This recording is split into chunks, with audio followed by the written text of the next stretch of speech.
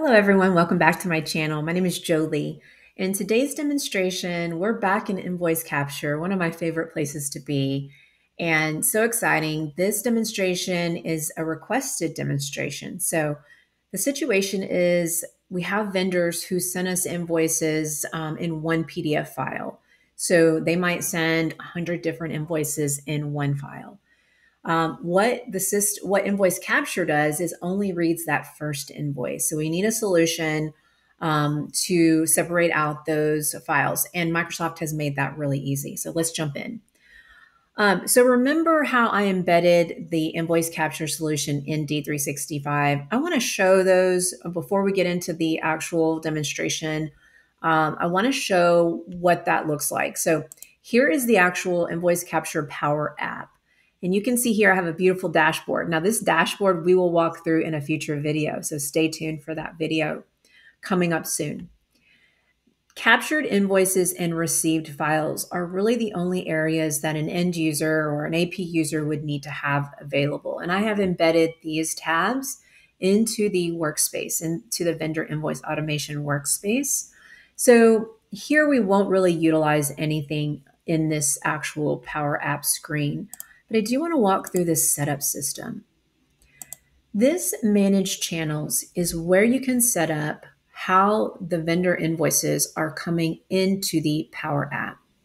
It's very easy to set up. I don't have the admin rights to be able to do that because I'm in just a demo um, environment right now. Um, but it's very simple to set, set up. And what ends up happening is if you have in this demonstration, what, what will happen is the vendor sends an invoice in, sends the invoice with multiple invoices, and this is what it looks like. Now, I do recommend the vendor names this with maybe the date they sent it or some unique identifier, and I'll show you why here in a minute. But here is invoice 15, 16, and 17 all in one file. Again, if we run this through um, the capture the way it is, it's going to only read that first, which would be an issue, right? We'll, we'll be missing capturing two invoices or hundreds of invoices potentially. Um, so we need every single one of our invoices to go through some sort of process that says if it has multiple different pages of invoices, we need it separated out. Power Automate does that for you. I set this Power Automate, and you can see it right here, this flow. I set this up in about 10 minutes and I just Googled how to separate using Power Automate a PDF file into multiple invoices. So you can do that too. Super easy, but here it is. The only thing I had to do, that's a caveat, is I had to get access to something called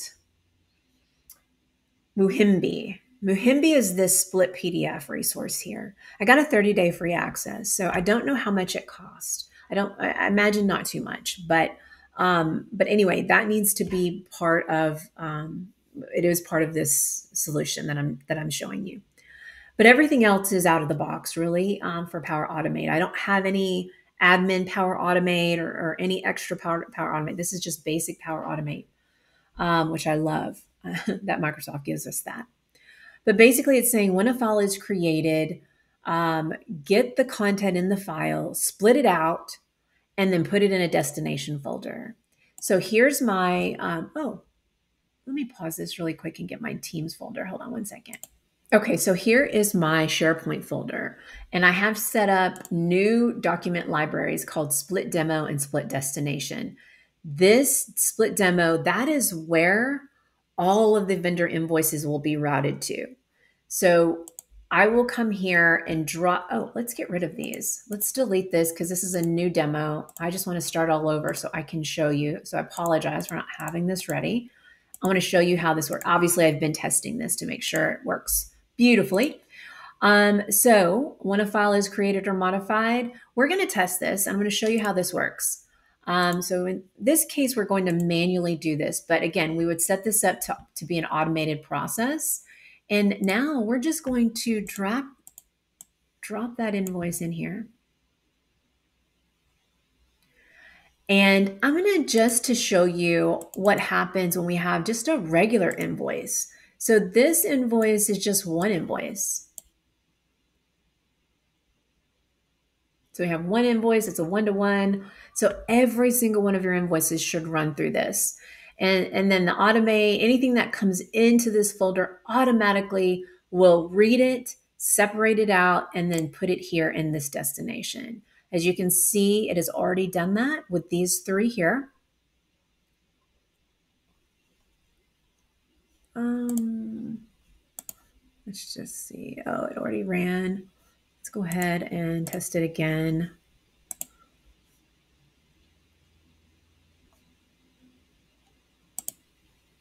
Oh, let's go back here and see what happens.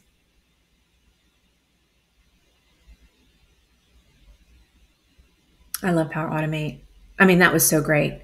It took one invoice and split it out into three different invoices. We're going to run this all the way through the process. Let's see what happens here. So it looks like it's still running. Might have not grabbed this new one. Let's see.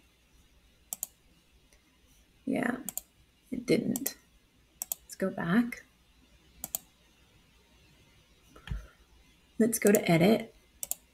Oh, let's go back into, oh, it sure did. It did it. It grabbed it. I was just trying to hurry up the process. So, so you see here, so now I have four different invoices. Now I'm going to need to, you wouldn't need to do this. Essentially, that channel setup would grab these and bring them in automatically. I have to download them because of my access, which is fine. We're still going to be able to process these very quickly. So let me put these in a location where we can grab them.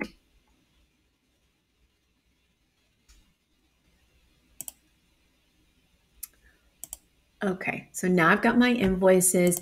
Now I'm going to go back into my vendor invoice automation solution in received files, upload the files. Now, in my testing, I found out a couple of things that you need to know.